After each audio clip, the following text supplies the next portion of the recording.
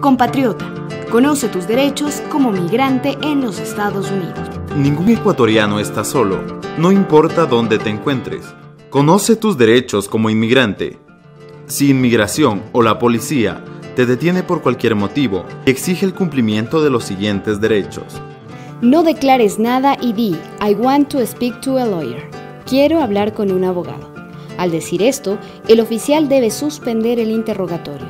Es ilegal que te interroguen sin la presencia de un abogado. Si te encuentras sin la presencia de tu abogado, permanece callado.